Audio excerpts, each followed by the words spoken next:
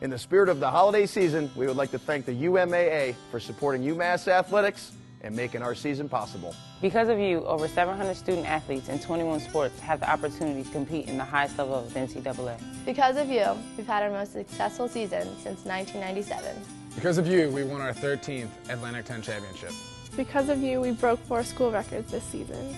Because of you, we captured our 22nd New England championship, our sixth since 2001.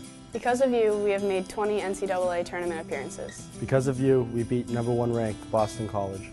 Because of you, we won our third consecutive A-10 championship. Because of you, we're transitioning into the FBS, the highest level of college football. From all of us here at UMass, thank you.